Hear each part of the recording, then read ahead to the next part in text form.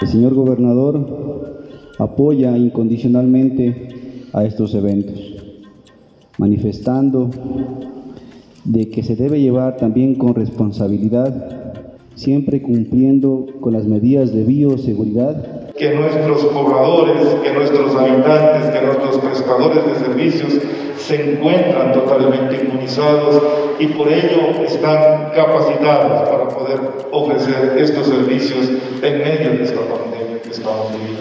Hemos desarrollado una guía turística digital la cual la pueden encontrar en nuestra página web www.viajaecuador.com.